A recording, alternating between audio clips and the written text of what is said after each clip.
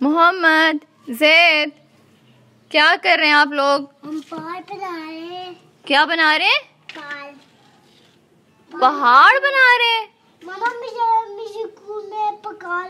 था। अच्छा ओके। अच्छा मोहम्मद जैद सुनो मेरी बात। आप लोगों ने मिट्टी जो गीली हो गई है वो हो गई है बाकी और गीली नहीं करनी ओके? ओके। मेरा पाँव भी चने मेरा हाथ भी चने ओके चलो अब अभी आपकी नीनी हो जाएगी। अस्सलाम गाइस कैसे आप लोग सब? उम्मीद करती हूँ सब ठीक होंगे, खैर खैर से होंगे। अपने घरों में, अपनी लाइफ में इंजॉय करोगे, बच्चों के साथ इंजॉय करोगे। मैं भी अरफा सो चुकी थी। बाहर आई तो बच्चे जो हैं वो मिट्टी के साथ खेल रहे थे। मैंने उनको मिट्टी के साथ खेलने से रोका नहीं। मैंने कहा, चलो, खेलते रहो, कोई नहीं। और अभी जो है वो खाने का टाइम हो रहा था। मैं अंदर जा रही थी खाना बनाने के लिए। और मैंने कहा, चलो, पहले बच्चों को देख लेती हूँ। तो खाने में क्या बनाना है? ये तो एक रोज़ की मुझे जो खाने बनाती हैं, उनको रोज़ ही की टेंशन होती है, खाना क्या बनाना है? मुझे भी कोई ऐसी टेंशन है।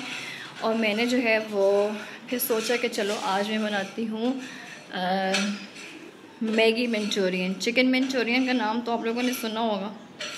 मैगी मंचूरियन का नाम भी शायद सुना हो या किसी ने नहीं सुना होगा। तो आज मैंने सोचा चलो मैं आज बनाती हूँ। Maggi manchurian. तो आप लोग भी ज़रूर ट्राई कीजिए, क्योंकि मैं पहले ये बना चुकी हूँ और बहुत टेस्टी बनती हैं, बहुत मज़े की बनती हैं।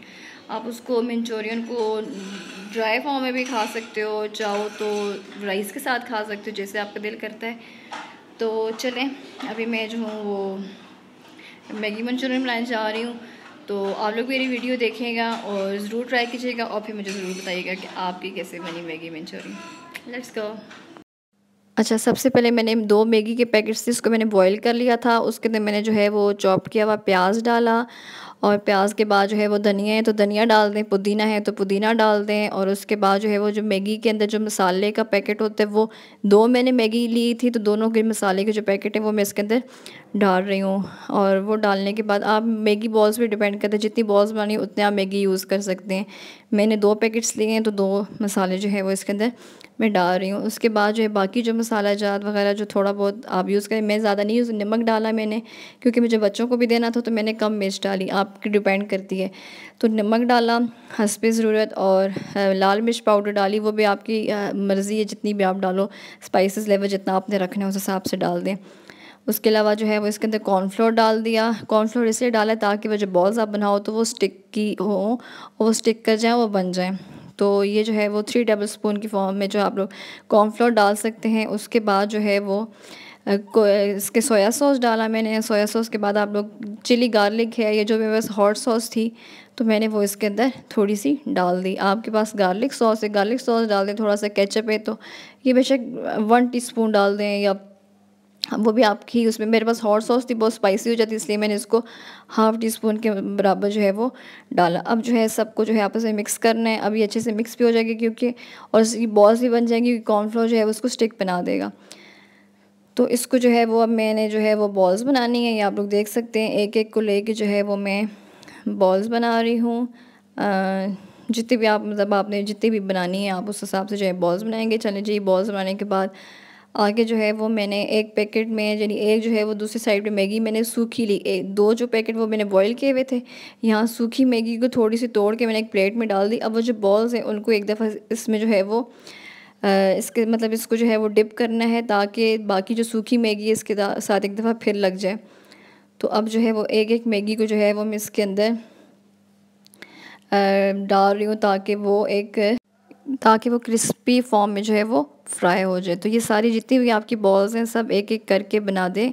और फिर इसके बाद अब जो है वो दूसरी तरफ़ ही अब आप देख सकते हैं, मैं उसको जो है वो जितनी मैगी बॉल्स बनी हैं सबको फ्राई कर रही हूँ। अच्छे से फ्राई करना है ब्राउन हो गई तो आप लोगों ने इसको जो है वो ऑयल मैंने पहले ही रख लिया था गर्म होने के लिए तो अब मैं उस सबको जो है वो डाल रही हूँ।